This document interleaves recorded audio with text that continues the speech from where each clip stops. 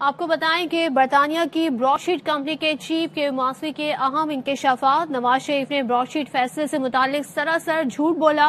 नवाज़ शरीफ कहते हैं वो इल्ज़ाम से बरी हो गए हैं, ये बिल्कुल झूठ है। समझता हूँ ब्रॉडशीट से जान छुड़ाने की वजह भी शरीफ फैमिली थी। गैर कानूनी असासों की तहकीकात से पीछे हटने के लिए रिश्वत की पेशकश की गई।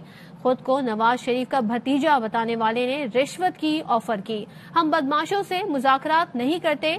चीफ ब्रॉडशीट का कहना था कि वज़ीर आज़म इमरान खान कहें तो एवनफील्ड की तहकीकात करेंगे।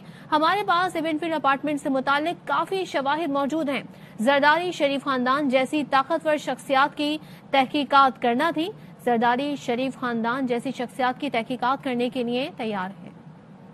Lies that Nawaz Sharif came up with two, day, two days ago. It's a complete lie to say the broadsheet court action exonerates the Sharif family because of the events surrounding Avenfield apartments. It is totally untrue. We identified possible hundreds of millions, up to a billion dollars, I would say even more. Well, not just UK, globally.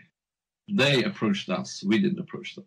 They offered money for us to go away initially in the first time it was 2012 when we had uh, somebody who turned up with a photograph of himself with um, Nawaz Sharif and told us he was a nephew of Sharif and that they would like to negotiate. And we just laughed and we said, um, we take our chances in the courts. We don't, we don't negotiate with crooks. Some of the Pakistan decided one day they're going to be clean. Alma mater, University of Oxford, Prime Minister Imran Khan, should he come decide that he wants us to continue this investigation, of course we'll go after Avenfields because there's enough evidence to suggest that I said, President Musharraf, you appointed a number of human rights lawyers as investigators to come and assist NAB.